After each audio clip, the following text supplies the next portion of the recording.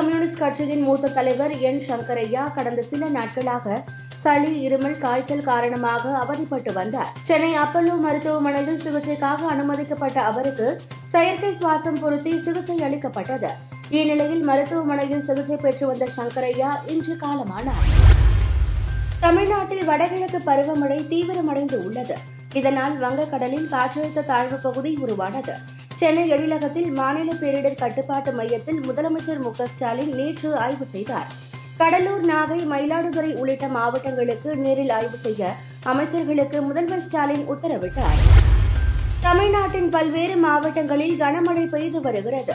கனமழையால் திருவள்ளூர் புதுச்சேரி காரைக்காலில் பள்ளி கல்லூரிகளுக்கும் சென்னையில் பள்ளிகளுக்கு மட்டும் இன்று விடுமுறை அறிவிக்கப்பட்டது. போதிய அளவு மழை இல்லாத காரணத்தால் பள்ளி கல்லூரிகள் இன்று வழக்கம் போல் செயல்படும் என செங்கல்பட்டு காஞ்சிபுரம் மாவட்ட கலெக்டர்கள் அறிவித்தனர்.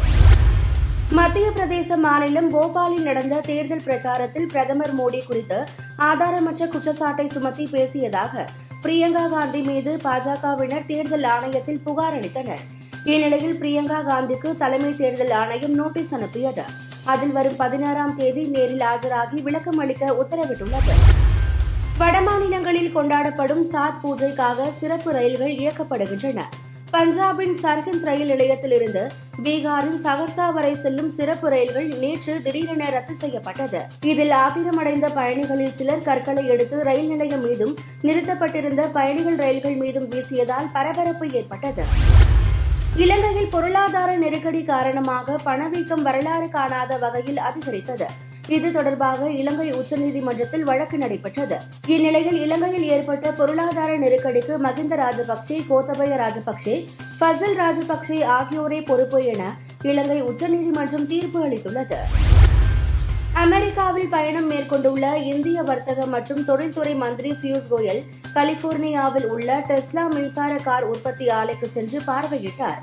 உடல்நிலை காரணமாக எலான் மஸ்க் அங்கு இல்லை. டெஸ்லாவிற்கு நீங்கள் வருகை தந்தது கௌரவம் அளிக்கிறது. கலிபோர்னியாவிற்கு என்னால் வர முடியாததற்காக மன்னிப்பு கோருகிறேன் என எலான் மஸ்க் பதிவிட்டுள்ளார் உலகக்கோப்பை முதல் அரையிறுதிப் போட்டி மும்பை வான்கடே மைதானத்தில் இன்று நடைபெறுகிறது. இதில் இந்தியா நியூசிலாந்து அணிகள் மோதுகின்றன. இந்த போட்டியில் பங்கேற்க இந்திய அணி நேற்று மும்பை வந்தது. அப்போது செய்தியாளர்களிடம் பேசிய கேப்டன் ரோஹித் சர்மா நாங்கள் வெற்றி பெறுவதில் மட்டுமே கவனம் செலுத்தி வருகிறோம் என தெரிவித்தார்.